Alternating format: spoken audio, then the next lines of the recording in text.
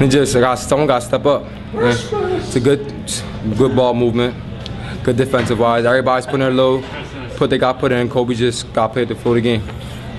I'm just not trying to force anything, so I just play how how to get the ball, and then coach said don't rush no shots. The points is gonna come, and then you see they was just coming.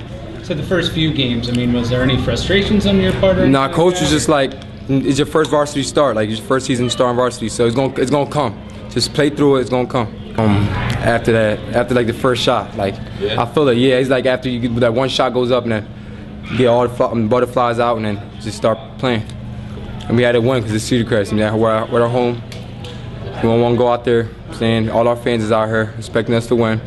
Just trying to get back to states. We're gonna get through it though. We just it's a good win tonight. Right back, to, right back. Game on Monday at Ward. Look to go up a lot on that.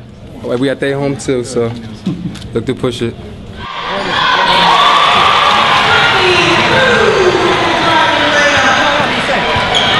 Last year was nobody stopped them. And instead of